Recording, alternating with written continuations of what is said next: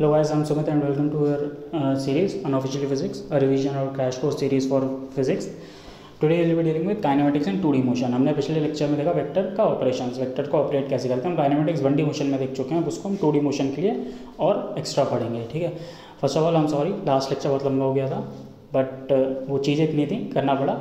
अब से जो भी लेक्चर होगा वो max to max twelve to thirteen minute जाएगा राइट नो मूविंग ऑन भाई व्हाट इज़ काइनेमेटिक्स काइनेमेटिक क्या होता है? स्टडी ऑफ़ मोशन ठीक है? मोशन की स्टडी को काइनेमेटिक बोलते हैं, ठीक है? हम वनडी में देख चुके हैं, अब प्लेन में देखेंगे। सबसे पहले प्लेन क्या होता है मोशन लेना प्लेन होता क्या है? भाई, जब आपने वन डायमेंशन में पढ़ा था, आपने देखा था कि जो मोशन हो रहा है, वो एक ही डायरेक्शन में या आगे की साइड हो रहा है, या पीछे की साइड हो रहा है, या ऊपर नीचे हो रहा है। भाई, वो ग्रेविटी वाला जो केस देखा था मतलब कुल मिला के अलॉन्ग लाइन ही हो रहा है मोशन एक ही डायमेंशन में हो रहा है, ठीक है?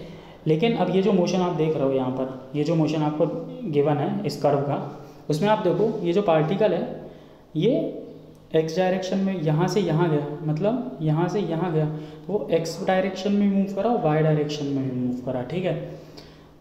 राइट ऐसा नहीं है कि वो यहाँ से यहाँ सीधा चले गया वो सीधा नहीं गया ऐसा नहीं है कि अलॉन्ग लाइन मूव करा, वो अलॉन्ग कर्व मूव करा है। मतलब मैं थोड़ा सा इधर भी मूव कर रहा है और थोड़ा सा इधर भी इधर भी मूव कर रहा है साइमल्टेनियसली एक साथ। एक साथ दोनों डायरेक्शन में मूव कर रहा है, एक साथ अलग कर्व प्लेन कर्व में मूव कर रहा है। ये हो गया मोशन ना प्लेन जब एक साथ दोनों डायरेक्शन में मूव करता है, वो हो जाता है टू डायमेंशनल मोशन राइट उसी को मोशन है ना प्लेन भी बोल देते हैं।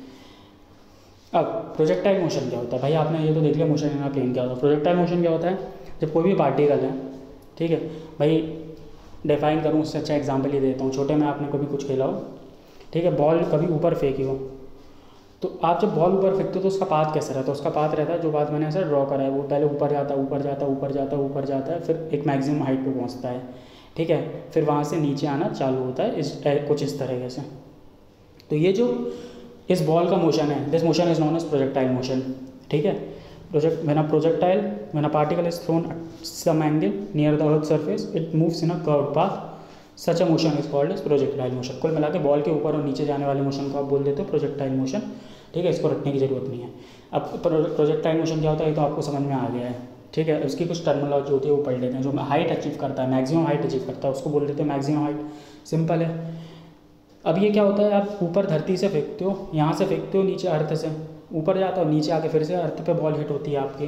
तो जितने टाइम के लिए ये हवा में रहता है, जितने टाइम के लिए वो फ़्लाइट में रहता है, उसको बोलते हैं टाइम ऑफ़ फ़्लाइट ठीक है? क्लियर अब आप ऊपर फेंकते हो, कुछ दूर जाके नीचे गिरता है राइट तो वो जितने दूर जाके नीचे गिरता है, ठीक है? एक्स डायरेक्शन में जितना डिस्टेंस रहता है, उसको बोलते हैं रेंज कितने दूर जाके नीचे गिर रहा है, वो हो गई रेंज तीन चीज़ें हैं रेंज मैक्सिमम हाइट और टाइम ऑफ़ फ़्लाइट बस, ये होगी पूरे प्रोजेक्टाइल मोशन की टर्मिनोलॉजी अब आपको मालूम है प्रोजेक्टाइल मोशन क्या होगा प्रोजेक्टाइल मोशन की टर्मिनोलॉजी आपको तीनों चीज़ें, तीन ही चीज़ें से डील करना है. हाइट टाइम ऑफ़ फ़्लाइट और रेंज अब प्रोजेक्टाइल मोशन को सॉल्व कैसे करते हैं? भाई, मंडी मोशन को कैसे सॉल्व करते हैं? आप तो मेरे को ये बताओ पहले, याद करो। मंडी मोशन को हमने देखा लास्ट लेक्चर में कैसे सॉल्व करते हैं? अगर एक्सेलरेशन है तो वो D V Y D T is equal to V D V Y D S velocity D S by D T इस टाइप की क्वेश्चन से सॉल्व करते हैं। और अगर एक्सेलरेशन कॉन्स्टेंट है तो सोने पे सुहागा तो आपको तीन इक्वेशन पता है। इन तीन इक्वेशन की मदद से आप सॉल्व कर लेते हो। तो टू डी मोशन को कैसे सॉल्व करोगे? आप बोलोगे, सर, ये तो वन डी मोशन की इक्वेशन हैं। आप जो बता रहे हो टू डी मोशन की थोड़ी हैं। हाँ टू डी मोशन देनी है। लेकिन मैं चाहता हूँ किसी तरीके से मैं यही इक्वेशन टू डी मोशन में भी अप्लाई करता हूँ इससे आपका काम आसान हो जाए, मेरा भी पढ़ाना भी आसान हो जाए, पढ़ना भी आसान हो जाए। ठीक है? कैसे अप्लाई करेंगे? भाई इनिशियल बताओ। पहली बात, जब टू डी मोशन होता है तो उसमें टू डी मोशन छोड़ो। सबसे ईजी टू डी मोशन देखते हैं प्रोजेक्टाइल मोशन जो प्रोजेक्टाइल मोशन होता है, उसमें एक्सेलरेशन कितना होता है, पहले ये बताओ। भाई, जब आप बॉल ऊपर फेंकते हो, और वही बॉल नीचे आती है तो उस बॉल का एक्सेलरेशन कितना होता है, आप तो पहले ये बताओ। इस डायरेक्शन में कुछ एक्सेलरेशन होता है क्या? नहीं। इस डायरेक्शन में कोई भी एक्सेलरेशन नहीं होता है, ठीक है? एक्सेलरेशन होता है सिर्फ़ और सिर्फ़ नीचे की साइड कितना होगा? नीचे की साइड एक्सेलरेशन होगा जी के बराबर। जी क्या होता है? जी होता है nine point eight one metre per second square right तो जब आप बॉल फेंकते हो और वो बॉल नीचे आती है तो उसका एक्सेलरेशन बस नीचे की साइड होता है nine point eight one metre per second square ठीक है? ये एक्सेलरेशन कांस्टेंट रहता है. तो ये तो भाई कांस्टेंट एक्सेलरेशन का केस हो गया. वो सब छोड़ जाओ आप. अभी ये सब भूल जाओ कि दो डायरेक्शन में मोशन है. एक डायरेक्शन में तो एक्सेलरेशन है नहीं और दूसरी डायरेक्शन में जो एक्सेलरेशन है वो कॉन्स्टेंट है. वो भी, उसकी भी वैल्यू हमको मालूम है. तो देखो, एक वेरिएबल तो आपको मालूम चली गया एक्सेलरेशन तो आपको मालूम चली गया, और ये भी मालूम चल गया कॉन्स्टेंट एक्सेलरेशन है. तो मैं ये क्वेश्चन किसी तरह से इसमें लगाने की कोशिश करता हूँ, कैसे लगाऊँगा देखता हूँ। लास्ट लेक्चर में आपने देखा भाई वेक्टर पढ़ा, आपने वेक्टर को रिजॉल्व करना सीखा था। वो रिजोल्यूशन यहाँ पर देखो आपका कितना मदद करेगा। मान लीजिए इनिशियल वेलोसिटी वी है, ठीक है? ये इनिशियल वेलोसिटी वी गिवन है, जो मैंने ग्रीन उससे बना के रखा है, ये वेलोसिटी वी है, ठीक है? इसको रिजॉल्व करना है अलॉन्ग एक्स और वाई डायरेक्शन ये एंगल भी फाइव आपको गिवन है, जो एक्स एक्सेस से बना रहा है, ये जो अर्थ से बना रहा है। ये हो जाएगा वी कॉस फाइव ये हो जाएगा वी साइन फाइव अब आप देखो, मैंने इस एक वेलोसिटी कंपोनेंट को दो डायरेक्शन में रिजॉल्व कर दिया है एक्स और वाई डायरेक्शन में। ठीक है? अब तो कोई दिक्कत ही नहीं है। एक्स डायरेक्शन में कोई एक्सेलरेशन ही नहीं है और वाई डायरेक्शन में जो एक्सेलरेशन वो कांस्टेंट है। माइनस जी वो मेरे को मालूम ही है। तो बस, अब दो अलग अलग डायरेक्शन में जो आपको मोशन एक जो मोशन गिवन था, वो आपने दो डायरेक्शन में सेपरेट कर लिया है, दो डायरेक्शन में रिजॉल्व कर लिया अब आप दोनों को सेपरेटली सॉल्व कर दो। एक बार अलॉन्ग एक्स डायरेक्शन सॉल्व कर दो, ये इनिशियल वैल्यू लेके एक बार अलॉन्ग वाई डायरेक्शन से सॉल्व कर दो, ये इनिशियल वैल्यू लेके। तो जो रिज़ल्ट आएगा, वो आपको एक्स और वाई डायरेक्शन में सेपरेट दे देगा। भाई, मान लो आपको बोल दिया डिस्टेंस फाइंड करना है। कितने डिस्टेंस कवर करा है? डिस्प्ले इस पोजीशन फाइंड करना आफ्टर टाइम टी तो आप क्या करो? S is equal to U T plus half A T square लगा दो। पहली बार एक्स डायरेक्शन में यू कितना होगा? वी कॉस फाइव टी कितना होगा? वो आपको गिवन है। ए कितना होगा? ज़ीरो मान लीजिए कुछ डिस्टेंस आया फाइव ठीक है? तो फाइव ये आ गया फाइव फिर आपको बोल रहा है वाई डायरेक्शन में एक्स तो वाई डायरेक्शन में एक्स फाइंड कर लो यू कितना होगा? V sine five t given होगा। ए कितना है? माइनस जी ऊपर की डायरेक्शन पॉजिटिवली है तो ये नेगेटिव तो मान लीजिए वो आया कुछ टेन यहाँ पर।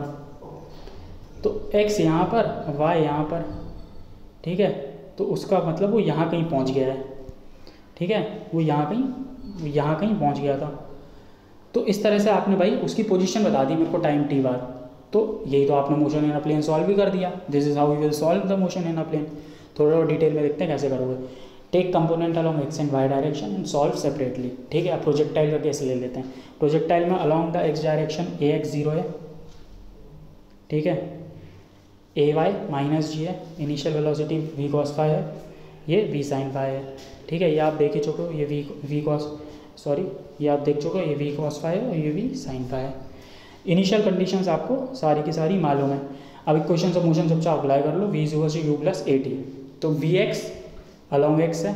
जहाँ सब्सक्रिप्ट में एक्स एक्स लिखा है अलॉन्ग एक्स है। जहाँ और वाई लिखा है, वो अलॉन्ग वाई की बात कर रहा हूँ मैं। तो ए एक्स तो ज़ीरो है। तो सेकेंड टर्म तो जो इस इक्वेशन में है, इन तीनों इक्वेशन में सेकेंड टर्म ज़ीरो हो जाएगा। अगर ए एक्स ज़ीरो होगा तो ठीक है? ए ज़ीरो है। तो ये ये सेकेंड टर्म सारी में ज़ीरो हो जाने। तो ये तो मैंने लिख दिया। अलॉन्ग एक्स डायरेक्शन अप्लाई करके। सेकेंड टर्म सब में ज़ीरो है ए सब में ज़ीरो है। ठीक है? अब अलॉन्ग वाई डायरेक्शन बस वैल्यू सब्टीट्यूट करनी थी। यू वाई आप वी साइन फाइव डालो ए वाई आप माइनस जी डालो तो अलॉन्ग वाई डायरेक्शन भी आ गया। तो this is how you will solve projectile motion ठीक है? भाई, आपको बोल दिया, मान लो रेंज फाइंड करना है। रेंज कैसे फाइंड करोगे? रेंज होता क्या है? रेंज तो आपका हो गया एस एक्स भाई रेंज आपका हो गया जो डिस्टेंस कवर कर डिस्प्लेसमेंट कवर करा है अलॉन्ग द एक्स डायरेक्शन तो रेंज आपकी हो गई एस एक्स ठीक है? यही हो गई रेंज टाइम ऑफ़ फ़्लाइट कितना होगा? भाई टाइम ऑफ़ फ़्लाइट होगा वो टाइम जिसमें वाई डायरेक्शन के अलॉन्ग डिस्प्लेसमेंट ज़ीरो है। भाई, वो वापस से उसी पोजीशन पे नीचे आ जाए ये हो जाएगा आपका टाइम ऑफ़ फ़्लाइट तो इसको आप ज़ीरो सब्सटीट्यूट कर दो, और फिर जो टी आएगा इस इक्वेशन से, वो हो जाएगा आपका टाइम ऑफ़ फ़्लाइट और क्या चीज़ थी? एक एक थी height maximum height maximum find कैसे करोगे? मैक्सिमम हाइट कब होगी? दो, या फिर आप तब होगी जब टाइम ऑफ़ फ़्लाइट आधा होगा। ये प्रॉपर्टी होती है, जितने टाइम में ऊपर जाता है, उतने ही टाइम में नीचे आता है। या फिर टाइम ऑफ़ फ़्लाइट को आधा करके आप सब्सटीट्यूट कर दो तो आपका आ जाएगा मैक्सिमम हाइट भाई अलॉन्ग बाई डायरेक्शन ही तो होती है डिस्प्लेसमेंट तो इसमें आप या फिर t t by two substitute कर दो तो आ जाएगा। या फिर या फिर आप इस इक्वेशन से फाइंड कर सकते हो। भाई जब वो सबसे ऊपर पहुँच जाता है तो उसकी velocity along y direction zero हो जाती है। वो इंस्टेंटेनियस रेस्ट पे आता है अलॉन्ग वाई डायरेक्शन ठीक है? और फिर नीचे आता है। ठीक है? पहले कुछ वेलोसिटी थी, ऊपर की साइड थी, फिर नीचे की साइड थी मतलब बीच में कहीं तो ज़ीरो ही है। हाईएस्ट पॉइंट पे ज़ीरो होती है। ठीक है? तो वी वाई यहाँ ज़ीरो रख दो। यू वाई आपको मालूम ही है। ठीक है? हाइट मैक्सिमम अगर मालूम है तो आप इससे सब, इससे भी फाइंड कर सकते हो हाइट मैक्सिमम ठीक है? वी वाई ज़ीरो है यू वाई आपको मालूम ही है। ठीक है? तो this is also how you can find maximum height या फिर ये तीनों फॉर्मूले जो गिवन है, वो रट लो आप। Two u sine theta by five है g u square sine two five है जी और u square sine square five है टू जी बेटर कौन सा है? मेरे से पूछोगे तो मैं बोलूँगा पूरा मेथड ही बेटर है instead of marking of the formulas formulas याद करने से कोई मतलब नहीं है, क्योंकि आप दो तीन बार जब क्वेश्चन सॉल्व करोगे ना, आप देखोगे कि भाई वो सिर्फ़ क्वेश्चन ऑफ़ मोशन ही तो अप्लाई करनी है, वो अप्लाई करते से ये वैल्यू आ जाती है। ये फाइंड करना कोई मतलब रॉकेट साइंस नहीं है। वो सिर्फ़ इक्वेशन अप्लाई करो, ये वैल्यू फॉरन जाती है। ये डेरिवेशन भी उन्हीं क्वेश्चन से आए हैं। बस वैल्यू सब्सटीट्यूट कर करके, ठीक है? तो अगर आपको फॉर्मूले याद रहते हैं तो वेल एंड गुड और याद नहीं रहते हैं तो कोई दिक्कत नहीं है। सात, आठ, नौ, दस क्वेश्चन सॉल्व करो उसके, और आपको ऑन द टिप्स आ जाएगा। और आपको ऐसा भी हो जाएगा प्रैक्टिस करते करते फॉर्मूला अपने आप याद हो जाने हैं। ठीक है? तो एक स्पेशल केस देख लेते हैं। प्रोजेक्टाइल होना इंक्लाइन ट्रेन आप बोलोगे अलग से क्यों? पहली बात तो जितना प्रोजेक्टाइल का कॉन्सेप्ट था पूरा खत्म हो गया है। एक क्वेश्चन है, ठीक है? इसको आप एक क्वेश्चन की तरह लो भाई। ये एग्ज़ाम्पल हम सॉल्व कर रहे हैं, ठीक है? मान लो इंक्लाइन प्लेन है, कोई बॉल है, यहाँ से ऊपर फेंकी, वापस से नीचे आई। वो बोल रहा है, भाई, ये इसके आप वो रेंज हाइट और वो सब फाइंड करो। आप मेरे को ये दो, ये कितना ट्रैवल कर रहा है, कितनी मैक्सिमम हाइट पे और टाइम ऑफ़ फ़्लाइट कितना था, आप मेरे को ये बताओ। पहली बात मेथड क्या था? रिजॉल्व करेंगे सेपरेटली सॉल्व करेंगे, ठीक है? यही मेथड था। बस डिफरेंस इतना देना है। हमने उसमें जब रिजॉल्व करा था, इस केस में हमने जब रिजॉल्व करा था मोशन आप देखो, हमने करा था अलॉन्ग एक्स और वाई डायरेक्शन ठीक है? या फिर अलॉन्ग अलॉन्ग द सरफेस और परपेंडिकुलर टू द सरफेस भाई बॉल आपने ऐसे फेंकी थी ना? आप देखो बॉल आपने ऐसे फेंकी थी। आपका अर्थ का सरफेस ऐसा था तो मैंने अलॉन्ग द सरफेस और परपेंडिकुलर टू द सरफेस इसको रिजॉल्व करा था, ठीक है? तो फिजिक्स में आप याद रखिए, कभी भी मैकेनिक्स का क्वेश्चन आए तो हमेशा फोर्स हो, चाहे वेलोसिटी हो जाए एक्सेलरेशन रिजॉल्व हमेशा अलॉन्ग द सरफेस और परपेंडिकुलर टू द सरफेस ही करना है। ठीक है? क्यों? कुछ फ़र्क नहीं पड़ता, आप कैसे भी रिजॉल्व कर दो। भाई, आप तो अलॉन्ग एक्स वाई कर दो, या कोई और डायरेक्शन के अलॉन्ग भी कर दो रिजॉल्व कोई फ़र्क नहीं पड़ेगा। आंसर वही आएगा, लेकिन चीज़ें आसान हो जाएँगी। ठीक है? वो कैलकुलेशन आसान हो जाएगा। तो इसमें आप रिजॉल्व करो। सरफेस क्या है? बॉल यहाँ से पिक के यहाँ जा रही है। तो आप along the surface perpendicular to the surface resolve करो। ठीक है? ये आपकी मैंने, ये आपकी मैंने एक्सेस भी बना के रख दी है। ऐसे आप रिजॉल्व कर लो। ठीक है? अब कैसे रिजॉल्व करोगे? एक्स डायरेक्शन में कोई रेजोल्यूशन नहीं है। वाई डायरेक्शन के अलावा एक्सेलरेशन जी है। ठीक है? एक्स डायरेक्शन में कोई एक्सेलरेशन नहीं है। ठीक है? तो ये जी है। ऐसा है। राइट ये जी है। ये मैंने ड्रॉ करा हुआ है। इसका एंगल ये फाई है। यहाँ से। ठीक है? ये अगर ऐसा जी है तो ये जो एंगल होगा, ये होगा 90 ये 90 माइनस फाइव ये फाइव यही फाइव ड्रॉन है यहाँ पर, ठीक है? तो जी कॉस फाइव और g sine five g cos five और जी साइन फाइव अब यू कैसा था? मान लीजिए मैं ये वाला एग्जांपल ड्रॉन इसके लिए है यहाँ से थ्रो कर रहा है, नीचे आ रहा है। यू ऐसा है, ठीक है? थीटा एंगल ड्रॉ कर रहा है यहाँ से। यू कॉस थीटा और यू साइन थीटा देखिए दोनों अलग हैं। ये फाइव ये एंगल है जो इंक्लाइन बना रहा हो थीटा वो एंगल है जो आपकी इनिशियल वेलोसिटी कंपोनेंट बना रहा है इंक्लाइन प्लेन से। तो u cos theta u sine theta तीसरा फिगर देखिए ध्यान से। इसमें दोनों को एक साथ लिख दिया है। समझने में आसानी हो, ठीक है? माइनस साइन क्यों है? क्योंकि जो डायरेक्शन लिए वो हमने ये और ये लिए ये दोनों डायरेक्शन लिए हैं, ठीक है? और जी किस साइड आ रहा था? नीचे आ रहा था। तो minus g cos five opposite to the direction है बस अब आपने जिस तरह आपने इसके पहले वाले एग्ज़ाम्पल में सॉल्व करा था, इस एग्ज़ाम्पल में सॉल्व करा था, आपको ए एक्स और ये मालूम था, उसी तरह आपको इस एग्ज़ाम्पल में भी इंक्लाइन प्लाइन वाले केस में भी, अब इस डायरेक्शन में मालूम है इनिशियल और वेलोसिटी और एक्सेलरेशन और इस डायरेक्शन में मालूम है। डिफरेंस ये है कि उस क्वेश्चन में एक ए एक्स ज़ीरो था, इस क्वेश्चन में जो एक्स डैश अगर इस डायरेक्शन को बोल दूँ और इस डायरेक्शन को वाई डैश बोल दूँ तो एक्स डैश डायरेक्शन के अलॉन्ग ज़ीरो नहीं है। लेकिन आपको क्वेश्चन ऑफ़ मोशन आप तो मालूम ही है v is equal to plus a t s is equal to t plus half a t square v square to u square plus two s ये क्वेश्चन तो आपको मालूम ही है ये क्वेश्चन अप्लाई करना है और आपका आंसर आ जाएगा, जैसे पहले आया था, वैसे ही आ जाएगा। तो it's all about concept and practice सिर्फ़ और सिर्फ़ कॉन्सेप्ट और प्रैक्टिस की बात है। आपको रटने की कोई ज़रूरत नहीं है, ठीक है? आप चाहो तो इसके भी फॉर्मूले होते हैं इंक्लाइन प्लेन के किसी भी स्टैंडर्ड बुक में देख लोगे मिल जाएँगे। रटने की ज़रूरत नहीं है। सिंपल प्रोसेस है।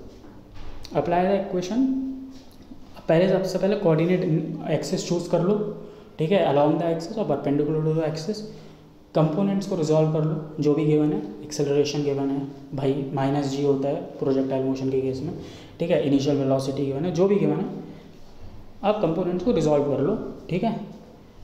अलॉन्ग द प्लेन और परपेंडिकुलर टू द प्लेन और सॉल्व कर दो सेपरेटली इक्वेशंस लगा के, ठीक है? एक बार आप सॉल्व कर दोगे उसके बाद अगर आपको पूछा गया, भाई फाइनल वेलोसिटी आप तो टाइम टी के बाद बताओ। तो आपने टाइम टी के बाद, भाई, ये तो देख लिया। मान लो इस डायरेक्शन में और इस डायरेक्शन में थी। आपने देख लिया। टाइम टी के बाद यू एक्स आपने फाइंड कर लिया और यू वाई भी फाइंड कर लिया। वी एक्स आपने फाइंड कर लिया और वी वाई भी फाइंड कर लिया। आपको बोला फाइनल वेलोसिटी बताओ। फाइनल वेलोसिटी क्या होगी? यू एक्स और यू आई नहीं होगी। फाइनल वेलोसिटी होगी इन दोनों का रिजल्टेंट ठीक है? तो सॉल्व करने का वही तरीका है। रिजॉल्व करो सेपरेटली सॉल्व करो। फिर रिजल्टेंट ले लो। ठीक है? This is how you will solve question और रेंज और हाइट कैसे निकालना वो हमने, वो देख ही लिया कि भाई जब डिस्प्लेसमेंट ज़ीरो कर दो अलॉन्ग द वाई एक्सेस तो रेंज आ जाती है। ठीक है? और क्या? Along the y axis displacement zero कर दिया तो रेंज आ गई। और सॉरी ज़ीरो कर दो और वो सब्सिट्यूट कर दो टाइम ऑफ़ फ़्लाइट आ जाएगा। रेंज क्या होती है? Displacement along the x axis होती है। ठीक है मैक्सिमम हाइट कैसे आएगा? टाइम ऑफ़ फ़्लाइट को आप आधा कर दो तो मैक्सिमम हाइट आ जाएगा या वी वाई को आप ज़ीरो से पुट कर दो, क्योंकि ऊपर जाके वो रेस्ट पे आ जाती है।